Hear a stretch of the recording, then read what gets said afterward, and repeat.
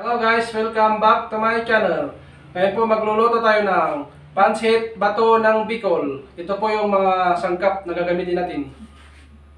Yan, gamit tayo ng bawang, sibuyas, chicken cubes, saka yung pansahog natin na pork, saka repolyo, carrots, nislice natin ng stri- stripes, saka yung pansit natin, pansit bato ng galing ano Bicol.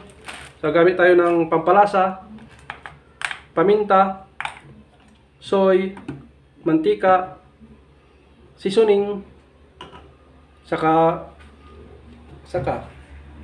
Yan, simulan na tayo.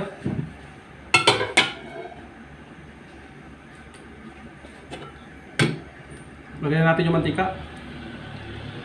Depende sa inyo kung gaano karaming gagamitin nyo ng mantika.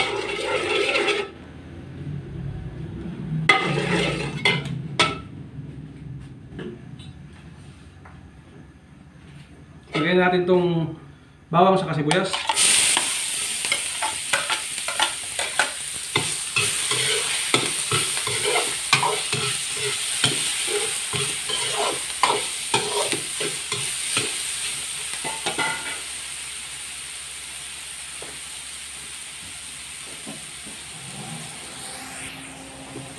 Yan. Lagyan natin ito ano. Pork natin. Bali, 1 pork po yan. 1 pork kilo.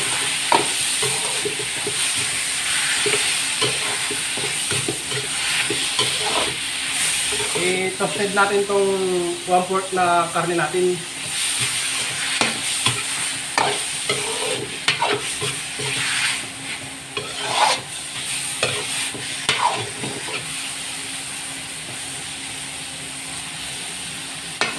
Balikan natin pag ano, toasted na siya.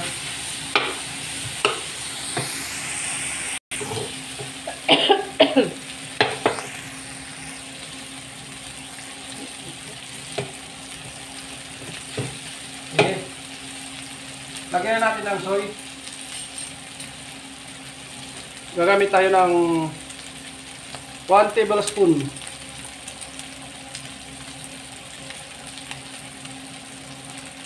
One, two, three, apat na tablespoon na soy. Saka yung seasoning natin, isa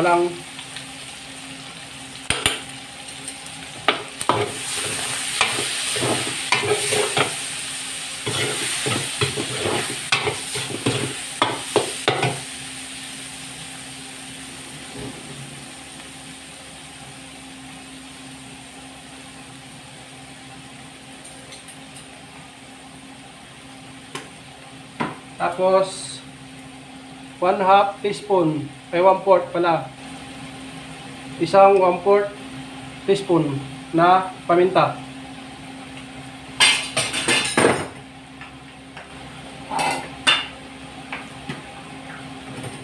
Namit din tayo ng pampalasa, bitchin, 1 fourth teaspoon din.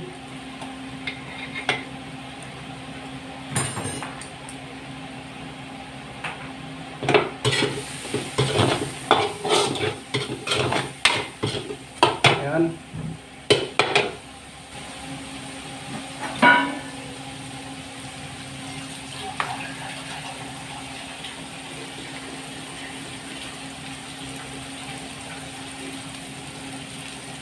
Tapos, sabawan natin ng ano, isang tabo. Dagdagan na lang natin kung medyo kulangin kasi matigas tong pansit ng Bicol, pansit bato.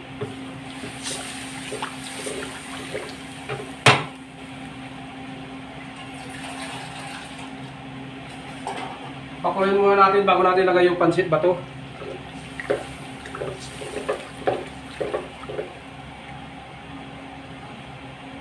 Hantay natin muna kumulo. Balikan natin pag kumulo, na.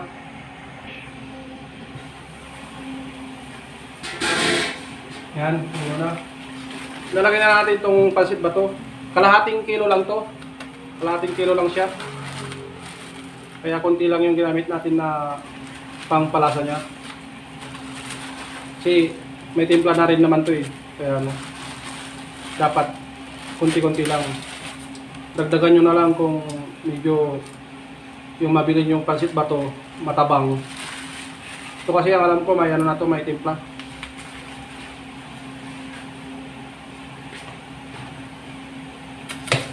Dagdagan natin ang tubig mamaya kung kakapusin.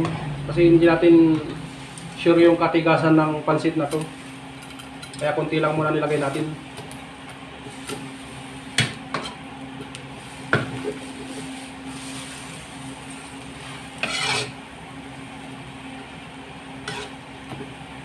Product kasi ng ano to, Bicol. Ah, special ng mga taga Bicol. Ito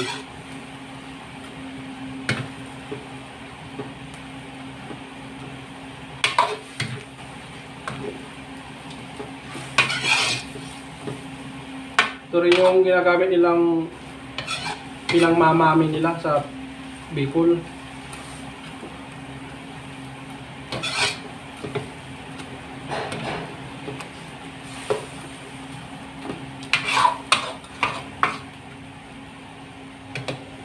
Lagay natin yung cubes natin, chicken cubes.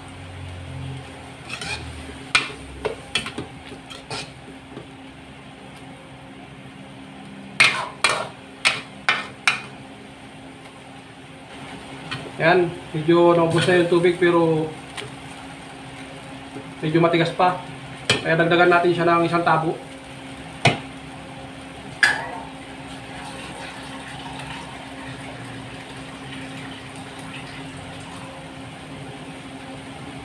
Dagdagan nyo lang siya, pero yung timpla niyan, sakto lang yan sa kalating kilo na pansit.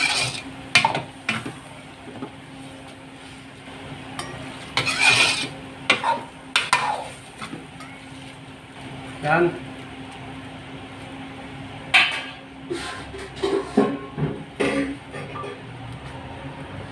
Takpan natin ulit. Pakuloy natin. Balikan natin pag kumukulo na. Yan. Diyan natin. Lagay na natin itong gulay. Unahin muna natin itong carrots. Carrots. Maya maya konti yung ano, repolyo. Para hindi siya ma-over. Itong kiros lang muna. Di medyo matigas pa tong pansit bato natin.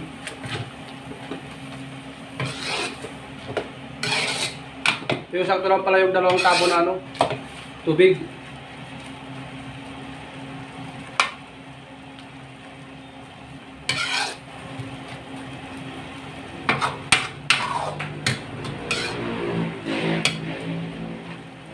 Yan, takpan natin ulit. Balikan natin mamaya pag lalagay na natin yung ano, repolyo.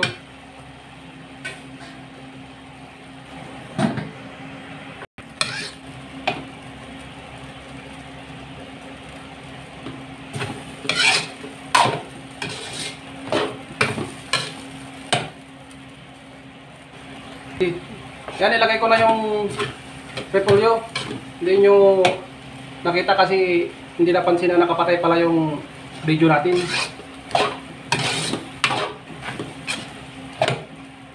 Yan, konting-konti na lang, pwede na to. Tikman lang natin tong pansit bato natin kung malambot na.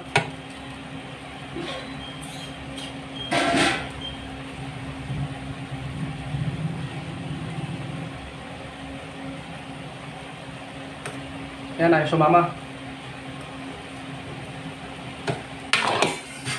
Iwan na lang natin.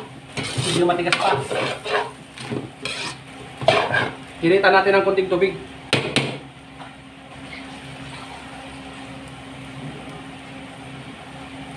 Bato nga.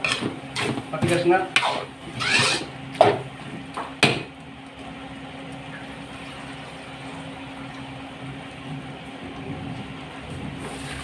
Yan.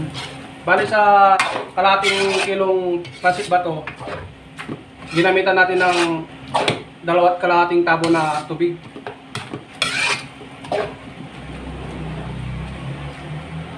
Yan, pakukuloy lang natin to. Sakto-sakto na yan. Balikan natin uli mamaya. Pag okay na. Yan. Yan, kumapit na. Malambot na. Yan, pwede na po to.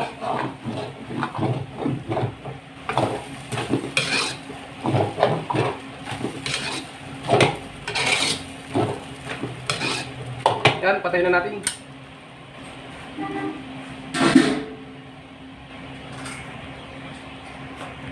Yan na po yung iloto natin na pansit bato. Yan po, kung bago ka pa lang sa channel natin, subscribe ka na, din pindutin mo na rin ang notification bell, then share na rin, like. Thank you!